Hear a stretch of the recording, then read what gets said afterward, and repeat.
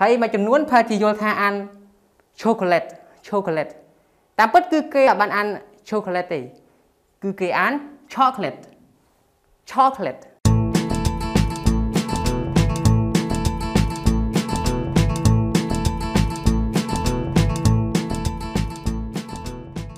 សួស្តីអ្នកនរគ្នាស្វាគមន៍សាច់ថ្មីមកកាន់ការរៀនភាសាអង់គ្លេសនៅក្នុងវីដេអូនេះផងដែរគឺខ្ញុំបង្ហាញអ្នកនរគ្នា ពីពាក្យខ្លះខ្លះមួយចំនួនពាក្យសាមញ្ញសាមញ្ញដែលយើងទាំងអស់គ្នាមួយចំនួនអាចនឹងនិយាយខុសតោះយើងទៅមើលទាំងអស់គ្នាបាទពាក្យទី1នេះគឺយើងអានថាម៉េចជាទូទៅគឺខ្ញុំឮគ្នាយើងអានថា April April តាមពិតគឺគេអាចបានអាន April ទេ គឺគេអាន April April April បាទគឺខ្ញុំសរសេរជា phonetic symbol កន្លែងនេះដើម្បីឲ្យអ្នកទាំងអស់គ្នាយើងមើលពាក្យនឹងហើយយើងអាចអានបាន គឺនៅពេលដែលយើងចេះ phonetic symbol បាទហើយពាក្យខាងក្រោមនេះវិញយើងអានថាម៉េចជាទូទៅខ្ញុំលើគេអានថា chef chef chef តាមពិតគឺគេអាចបានអាន chef ទេគឺគេអាន chef chef chef chef គឺគេអានបែបហ្នឹងបាទហើយពាក្យខាងក្រោមនេះពាក្យសាមញ្ញសាមញ្ញយើងប្រើវារាល់ថ្ងៃពាក្យអីគេ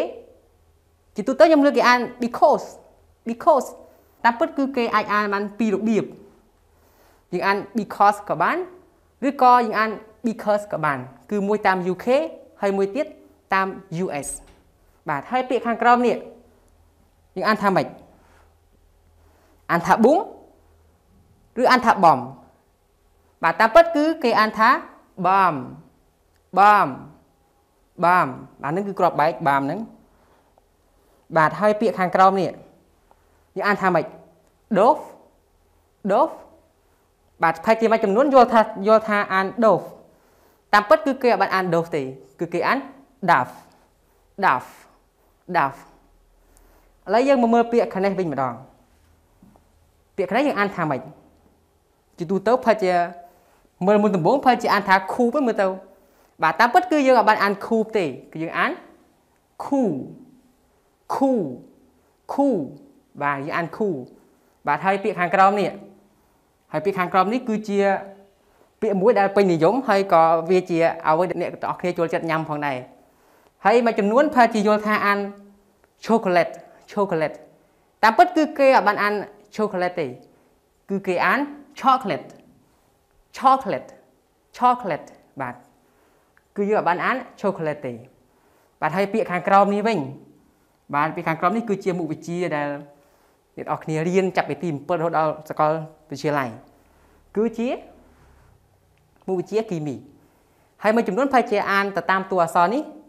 អានថា chemistry ប្រហែលជាអានអញ្ចឹង